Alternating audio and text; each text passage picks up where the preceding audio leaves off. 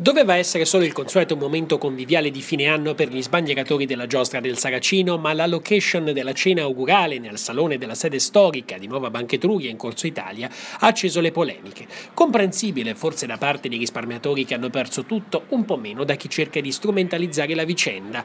Tra i commenti più forti quello di Letizia Giorgianni, presidente dell'Associazione Vittime delle Salvabanche, che pubblicando su Facebook le immagini della cena scrive qualche giorno prima che ha perso tutto per aver riposto i suoi risparmi risparmi in questa banca era costretto alla vigilia di Natale a sfidare il freddo in un corteo, all'interno invece si fa ancora sfarzo di lusso e soldi. Di chi?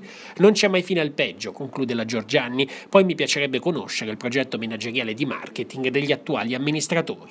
Dispiace solo che in mezzo a queste polemiche siano stati risucchiati gli sbandieratori che ogni anno portano in alto il nome di Arezzo che nulla c'entrano con tutto questo. D'altronde Nuova Banca Etruria ha fin da subito sostenuto la giostra del Saracino e la sede storica, al di là delle vicende e delle responsabilità passate, rimane un luogo simbolo della città. Si può forse chiedere per gli errori del passato di non organizzarci più niente nel presente e nel futuro? Forse non è questo il terreno giusto per i risparmiatori per ottenere quanto perso. Era solo un momento per stare insieme da parte di una delle componenti fondamentali della giostra.